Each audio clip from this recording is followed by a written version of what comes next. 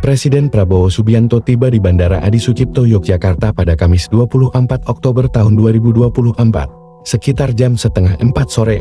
Nantinya, Prabowo akan menggunakan mobil Mong untuk menuju ke Akmil.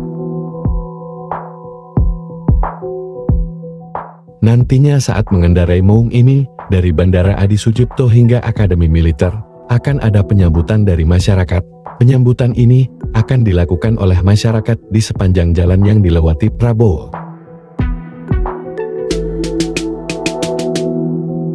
Sebelumnya, Presiden Prabowo mengatakan, bakal mengajak para menteri Kabinet Merah Putih ke Magelang untuk melaksanakan beberapa hari pembekalan dan koordinasi-koordinasi di kawasan Akademi Militer.